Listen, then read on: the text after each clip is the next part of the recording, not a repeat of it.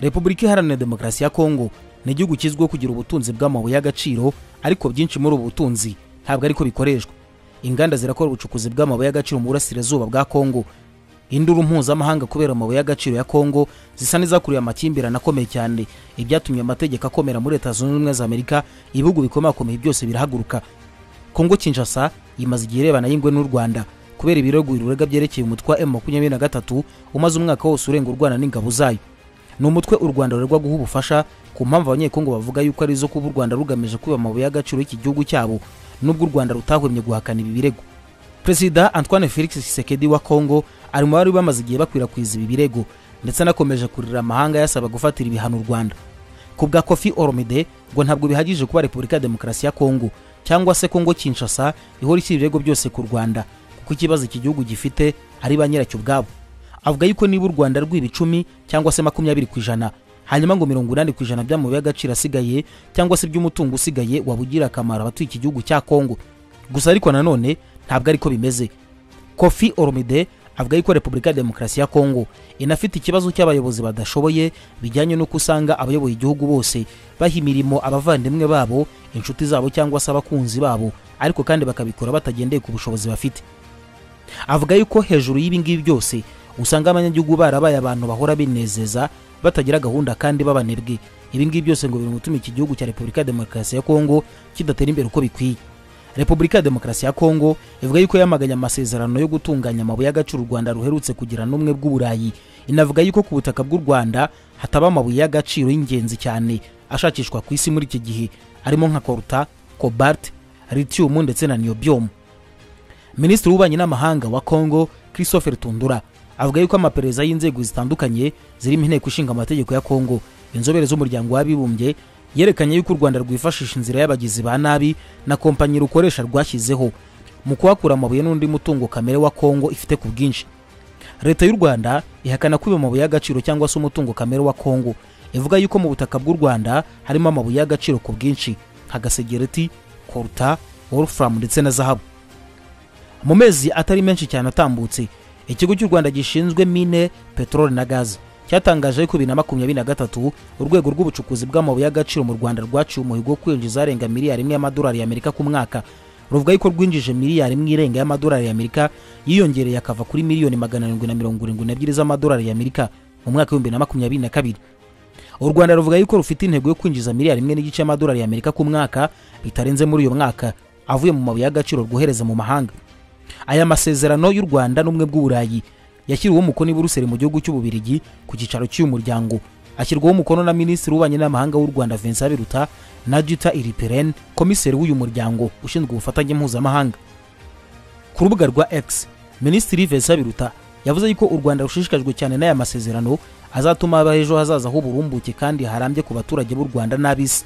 Komiseri iriperene avuga yuko amasezerano atangije ubufatanye bwa hafi buzatuma ibikorwa byiyongera agaciro byihanganira ibiza kandi binarambye cyane mu bucukuzi bw'amabuye y'agaciro. Inyandiko y'ubumwe bw'uburayi ivuga kuri aya masezerano irimo yuko mu mezi atandatu ari imbere impande zombi zigiye gushyiraho igishushanyo mbonera cyo gukorana mu buryo bufatika mu gushyira mu ngiro ubu bufatanye muri byo harimo nko kubaka ibikorwa remezo bijyanye n'iyongeragaciro ry'amabuye kongera amahugurwa n'ubumenyi ubushakashatsi no guhanga udushya no gusangira ubumenyi n'ikoranabuhanga. Ubumwe bw'uburayi buvuga yuko hazabona ibikorwa kandi byo kongera ingamba z'ubugenzuzi no kumenya inkomoko y'amabuye n'ubufatanye mu kurwanya ubucuruzi bw'umutungo kamere butemewe n'amategeko no gukurikiza ibipimo mpuzamahanga byo kubungabunga ibidukikije. Ku ruhande rwa leta ya kongo minisitiri rutundura avuga yuko nubwo yemera ubusugire bw'abayasinye aya masezerano umwe bw'uburayi n'u rwanda kwiyongera agaciro ry'umutungo kamere w'ingenzi cyane rudafite. Ngo nta yindi ngaruka byazana itari ukongera ikoreshwa rinyuranyije n'amategeko ry'umutungo kamere wa kongo bikozwe n'u rwanda. Ritundura avuga yuko ubukungu bw'u rwanda bushingiye cyane kuri iki gikorwa cy'icyaha kandi ko aya masezerano y'ubumwe bw'uburayi azatuma arushaho kugira amikoro yo gushotora kongo. Avuga yuko leta ya kongo ifata isinywa ry'aya masezerano nk'igikorwa kitari icya gishuti habe na gato. Nyuma y'uko ribaye hashize iminsi mikeya cyane perezida wa polonye igihugu kinyamuryango cy'ubumwe bw'uburayi agira uruzinduko mu rwanda akarwemera kuruha intwaro mu gihe rwaba rugabwaho igitero kivuye hanze. Mu kiganiro na radiyo okapi y'umuryango w'abibumbye ikora muri kongo ambasaderi nicolas beranga martineze w'ubumwe bw'uburayi muri iki gihugu yavuze ko aya masezerano ubumwe bw'uburayi bwagiranye n'u rwanda azatuma habaho umucyo mu kumenya inkomoko y'ubucuruzi ubwo ari bwo bwose bw'amabuye y'agaciro y'ingenzi cyane. Ambasaderi martinez yongeye yuko aya masezerano azagira akamaro atari gusa mu karere k'ibiyaga bigari. Raporo y'inzobere z'umuryango w'abibumbye amerika n'ibihugu byinshi byo mu burengerazuba bw'isi bishinja u rwanda gufasha inyeshyamba za m makumyabiri na gatatu zirwanya ubutegetsi bwa kongo ikirego u rwanda rutahwemye guhakana. Iyi raporo kandi inashinja repubulika ya demokarasi ya kongo gukorana n'umutwe w'inyeshyamba z'abanyarwanda ukora mu burasirazuba bw'iki gihugu fdr uvuga yuko urwanya ubutegetsi bw'u rwanda ariko kongo na yo ikomeje guhakana iki kirego. Ubumwe bw'uburayi buvuga yuko aya masezerano bwagiranye n'u rwanda akurikije ayandi yagiranye na repubulika ya demokarasi ya kongo na zambia hari mu kwezi kwa cumi na makumyabiri na gatatu cyo kimwe na namibiya mu kwezi kwa cumi na kumwe bibiri na makumyabiri na kabiri. Hanze ya afurika ubumwe bw'uburayi buvuga yuko busanzwe bufitanye amasezerano na argentine canada shiri greenland kazakistan ndetse na ukraine. Kwiyongera agaciro ry'umutungo kamere mu buryo burambye. Minisitiri w'ibikorwa remezo pierre rumbi wa repubulika demokarasi ya kongo avuga yuko amafaranga azakoreshwa mu kubaka imihanda ibitaro ibigo nderabuzima amazu na za kaminuza ku butaka bwa kongo yose yamaze gutegurwa kandi ko azava mu mabuye y'agaciro ya kongo mu kungurana ibitekerezo ubushinwa bwahawe uburenganzira ku mutungo kamere wa kongo harimo ibiti kobalte n'umuringa. Ubushakashatsi buherutse gukorwa bwavuze yuko ubushinwa bushishikajwe cyane na afurika kubera ukwemeza ibikoresho bizatangwa. Ni imwe mu nguzanyo nini ku gihugu icyo ari cyo cyose cyo muri afurika ingana na miliyari makumyabiri z'amadolari y'amerika ubushinwa bwiyemeje gutera inkunga ubucuruzi n'ishoramari ku mugabane wa afurika mu myaka mike iri imbere.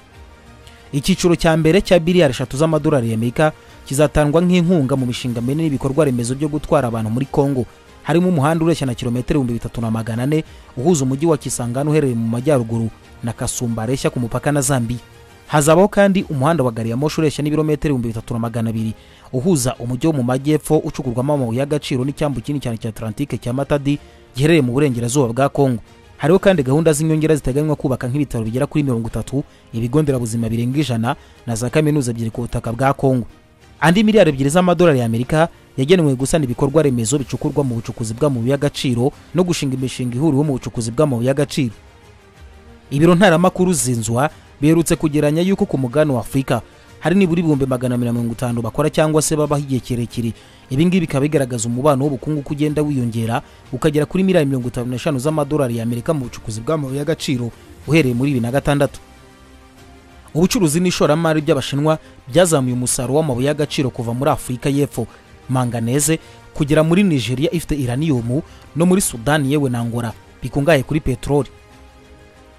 Ibyinshi muri ibyo bikorwa byerekana ubushake bukabije cyane bw'umutungo nyafurika ukenerwa mu kongera ingufu mu nganda z'ubushinwa. Ariko amasosiyete akomeye yo mu bushinwa yahise aba abanywanyi bakomeye cyane mu zindi nzego cyane cyane ku masezerano y'amatike manini rusange nk'ayasabwe muri repubulika ya demokarasi ya kongo ubushinwa bwubaka imirongo minini cyane ya gari ya moshi muri nigeria na ngora ingoma nini cyane muri sudani ibibuga by'indege mu bihugu byinshi n'imihanda mishya hafi ya hose. Biragoye kumva abantu baganira umutungo kamere w'amabuye y'agaciro ngo bamare amasegonda batagarutse kuri repubulika ya demokarasi ya kongo kubera yuko ari kimwe mu bihugu bikungahaye cyane kuri uyu mutungo. Ku buryo hari n'abatebya cyane bavuga yuko iyo imvura iguye ngo ihise abantu bose ngo bajya mu muhanda bakayura za zahabu. Nta gushidikanya ku bwinshi bw'amabuye y'agaciro ya kongo. Ngizo zahabu diyama kobalte kopa niker iraniyumu koruta litiyumu yose ni amabuye arangwa ku butaka bwa kongo ariko hari n'andi menshi cyane ntibagiwe cyane n'ibikomoka kuri peteroli n'imbaho ziteye amabengeza. Twifashishije imibare. Repubulika ya demokarasi ya kongo ifite umutungo kamere utarakorwaho ubarirwa muri miliyari ibihumbi makumyabiri na bine by'amadolari y'amerika bituma ari cyo gihugu cya mbere gikiza cyane ku isi hagendewe ku mutungo kamere wacyo mu gihe wose waba utunganijwe. Bibarwa yuko mirongo ine n'umunani ku ijana bya kobalte yacurujwe ku isi hose mu bihumbi na cumi na gatatu yavuye muri kongo mu gihe icyo gihe mirongo ine na karindwi ku ijana by'ububiko by'ibiri ku isi ariho yose yari iherereye. Imibare ya vuba ahangaha yerekana yuko mirongo itandatu ku ijana bya kobalte iri ku isi iri muri kongo. Ni ukuvuga toni miliyoni mirongo itatu n'esheshatu. Muri iyi minsi ikoranabuhanga rirakataje. Kongo ifite amahirwe menshi cyane kuko ifite litiyumu na kobalte amabuye y'agaciro akenerwa cyane ku isi muri icyo gihe akoreshwa muri batiri z'imodoka zitangiza amashanyarazi. Ni umutungo w'akataraboneka ku buryo bajejwe umusaruro repubulika ya demokarasi ya kongo yaba kimwe mu bihugu biteye cyane imbere ku isi ku rwego rwa leta zunze ubumwe za amerika ubushinwa n'ibindi bihangange ku isi. Icyakora uyu mutungo ukomeje gukungahaza cyane amahanga abanyekongo bicira isazi mu jisho. Umutungo w'umuturage wavuye ku gihumbi na magana atatu mirongo irindwi n'abiri y'amadolari y'amerika mu mwaka igihumbi kimwe magana cyenda mirongo irindwi na kane ugera ku madolari y'amerika magana atanu na cumi n'umunani muri bibiri na cumi na gatanu. Ni mu gihe abaturage benshi ba repubulika demokarasi ya kongo batabasha gutungwa n'idolari rimwe ku munsi ni ukuvuga inoti y'igihumbi cyangwa se igihumbi kirenga cy'amafaranga y'u rwanda. None se uyu mutungo wa kongo urengera he? Iki ni ikibazo buri wese yibaza iyo abwiwe inkuru y'uburyo repubulika demokarasi ya kongo ifite umutungo kamere watuma iba paradizo ariko ikaba ari kimwe mu bihugu bikeneye cyane ku isi bitagira ibikorwa remezo nk'imihanda amavuriro n'amashuri.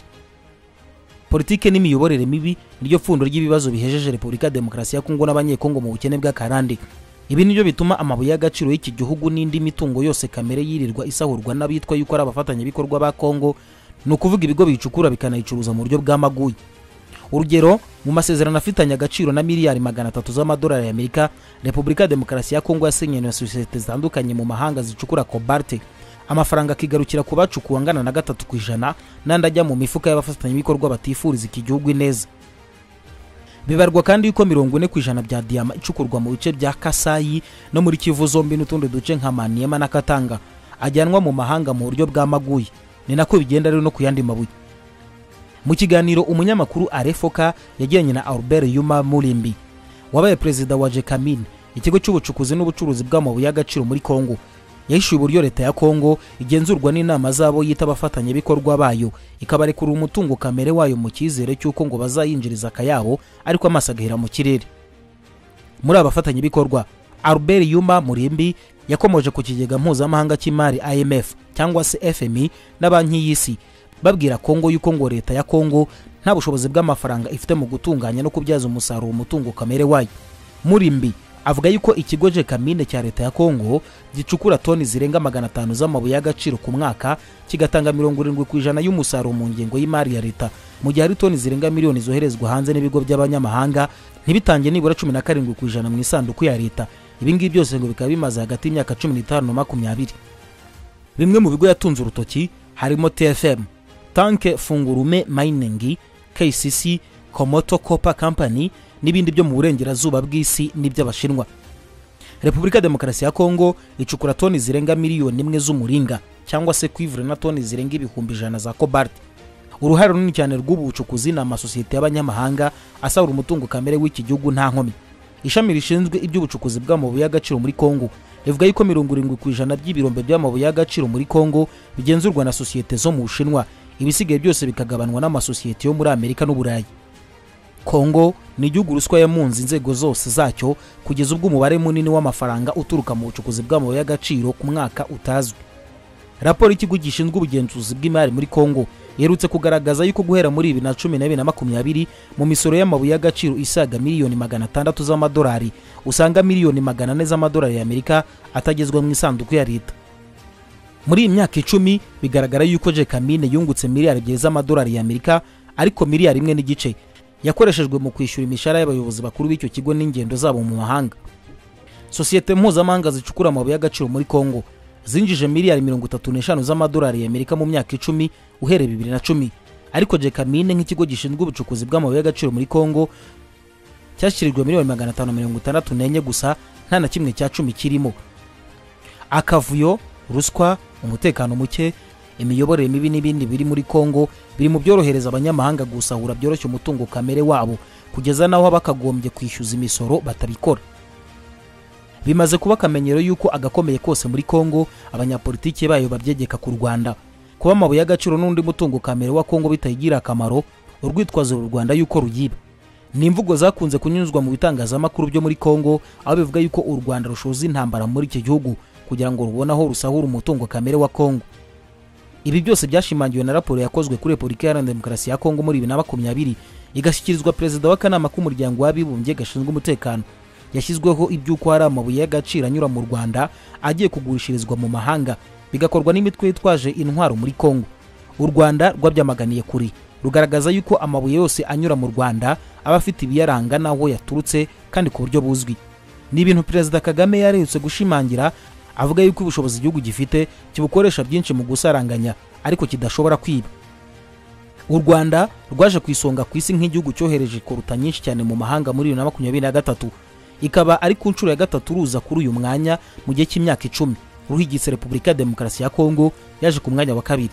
Ecofin agents yatangaje ko muri bibiri na makumyabiri na gatatu u rwanda rwohereje mu mahanga kuruta zipima toni ibihumbi bibiri na mirongo irindwi birushyira ku mwanya wa mbere ku isi mu kohereza nyinshi cyane mu gihe repubulika ya demokarasi ya kongo yabaye iya kabiri yohereje toni igihumbi na magana cyenda na cumi n'icyenda. Uretse umwaka ushize u rwanda rwaje kuri uyu mwanya wa mbere no muri bibiri na cumi na kane bibiri na cumi na gatanu bibiri na cumi na karindwi na bibiri na cumi n'icyenda. Rukaba rwaragendaga rusimburana kuri uyu mwanya na kongo umwaka ushize akaba ari bwo n'ubundi rwesheje umuhigo wo kohereza toni zirenga ibihumbi bibiri.